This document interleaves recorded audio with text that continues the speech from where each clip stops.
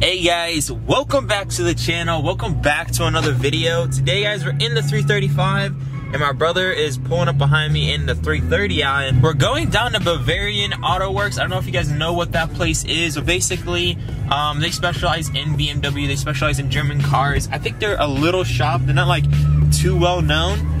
But uh, you know, as long as they know what they're doing BMWs, that's that's better for me because all the mechanics over here they don't know anything about anything we're doing.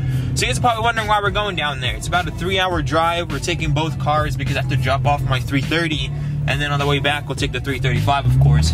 The 330i is finally getting a tranny swap. Tranny's been really lagging on me. It's It's been jerking. I'll show you guys clips right now of yesterday what I recorded for you guys. Uh, a solenoid failure or a Mechatronics failure is when you put your car in drive, and this is a good thing to check when you guys are actually uh, trying to purchase an E90. So right now it's in drive. You want to go ahead, throw it in sport, put it up in first. It's going to be already in first.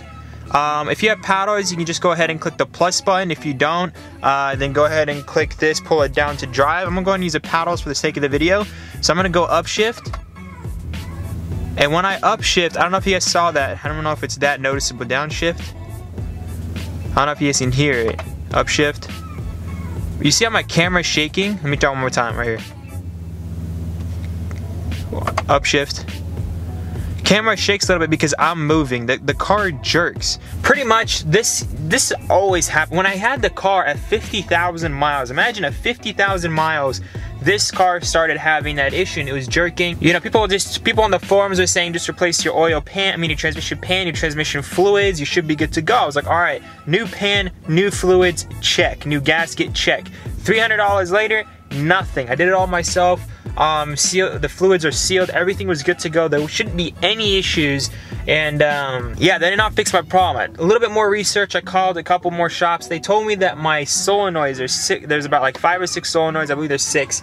And each one controls a gear or uh, whatever, like, you know, the, the gears, the first or second gear. And uh, I think you're reverse. I don't know if that's a separate solenoid. But yeah, basically that, that is my problem. So, uh, so after actually replacing the fluids, six months later after replacing the fluids, my car starts to jerk. I mean, not, not trying to jerk, it starts to slip around fifth, uh, when it goes from fourth to fifth. Uh, and if I if I try to floor it on fifth, it would just it would just lose. It would just slip. Oh, I didn't want to do it right then. I guess it sometimes does it. We're gonna try it one more time.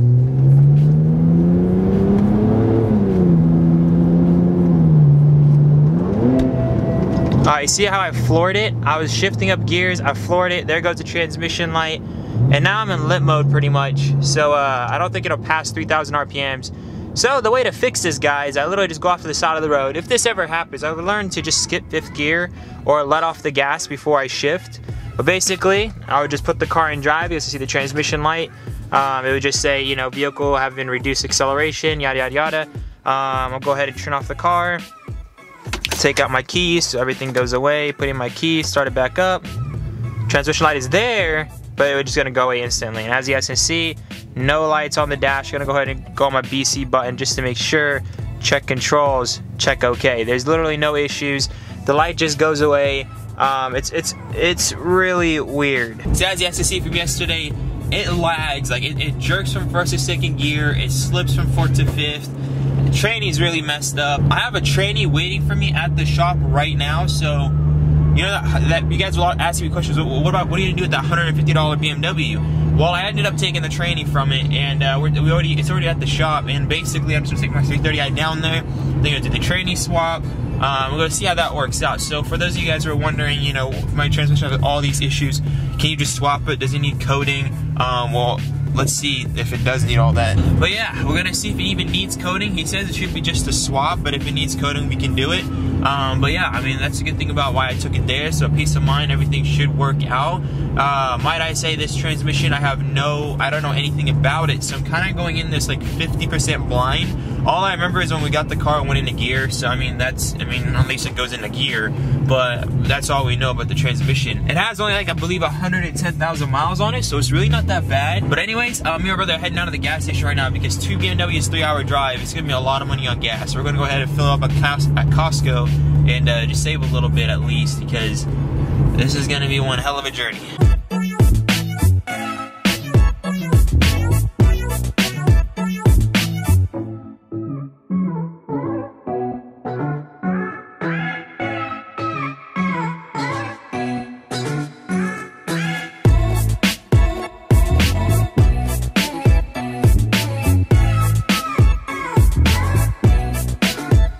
Guys, about 40 bucks later on this car and about 40 bucks later on the other car. We're good to go. I'm just waiting for my brother to leave. He's almost done. And then we're gonna head over to Bavarian Auto Works. Again, um, kind of anxious because, you know, we're kind of going a long trip. We're, going, we're paying a lot of, well, not paying a lot. They give us a really good deal. But, you know, um, money's money and time is time, so we're spending a lot of that, and uh, hopefully everything works out at the end of the day. If that train ends up coming back bad, you know, we're gonna have to pay for him to install my original one back, and it just it's just gonna be a mess, and it's just ah, uh, it's really stressful. But you do what you can, and uh, you just pray. Uh, I'm gonna set up the coordinates on my phone, and uh, I think my brother's almost ready.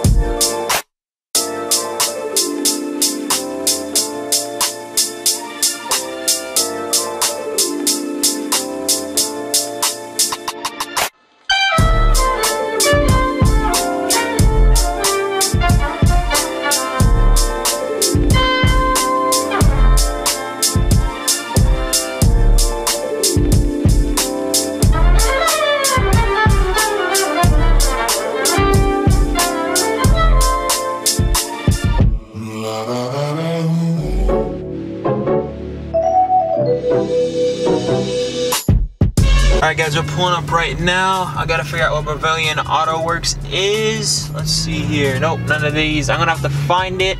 Probably what a lot of BMWs are, that's what I'm assuming. But uh, once I find it, I'll show you guys where that's at. Alright guys, so 200 miles later, both my BMWs are here, which I'm very proud about. You know, actually seeing both of these cars make it 200 miles with no issues, of course, just a lot of gas guzzling cars. But yeah, 335 performed great. It actually, the temperature stayed around 200 the entire trip, not even 230, which is about average. So that's pretty good. Two, uh, the 335 is cooling just well. Um, obviously my brother's car, I mean my other car, uh, it did pretty well. It made it all the way over here too uh, with tranny issues. So hopefully when we get this new tranny, everything should be sorted. Um, we're gonna drop it off. We have to drive, again, 200 miles back. Uh, it's worth taking the trip because I want to make sure the right people are working on my car, not some random people that don't even know how to deal with BMW transmissions because of the coding. Yeah, so right now we're just waiting for him to get here. He's like coming shortly after us. I don't know if they're closed today and he's just coming in to help us out, but uh, we'll see when he gets here. All right guys, I think that's Drew.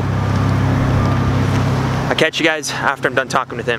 Uh, we're here guys, Drew just helped me out checking out my car. He's uh, just making sure everything is Gucci for the most part. I'm also see if he can also fix the CCC. If not, it's whatever. But uh, yeah, I'm, drop, I'm, gonna, I'm gonna pretty much drop off the car. I don't wanna like, you know, get in there too much. But they have a lot of BMWs. I think they have an M3, multiple E90s. Like probably, oh, actually that's the $150 BMW right there. that's the one that we ended up selling to them. So you guys are wondering where the $150 BMW went? Um, it's right there. So uh, long story short, that's where it ended up. They ended up getting it from us, um, and I just told them since they got they brought it over here, I just need the tranny from this one, and then we should be good to go. But yeah, here's the car. I don't know if the engine's still the engine's still in it. It was a pretty decent car, guys. But I mean, at the same time, if you guys look at the quarter panel back there, it wasn't really worth the repair, and. Uh, you clearly see they made good use out of the doors. Drew's gonna try his best to actually get the tranny to work on this car, so we're gonna drop it off He's actually just trying to start that really old car. I have no idea what that is.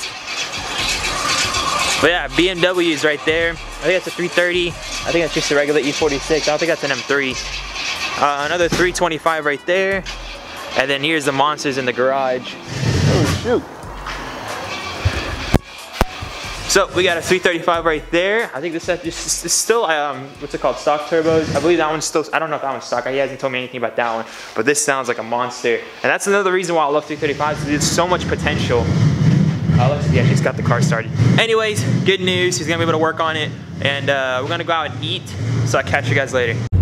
Anyways, it's freezing cold. We're gonna try to see if we can do some things down here. We're already like almost three hours away from the house and traffic's about to hit. So we'll see if we'll do something. Uh, but of course, we're gonna go get something to eat right now. It's about one, and we haven't eaten anything. You're pretty hungry, right? Yeah, I'm starving. But how's the drive?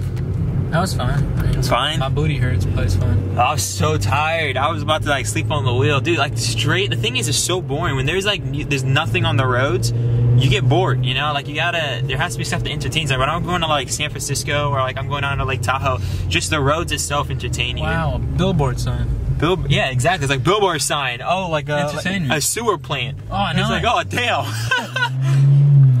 uh, yeah, we'll probably go to In-N-Out. Put something like In-N-Out or something like that on the GPS. she got me saying, Yalla habibi, I need you to see me.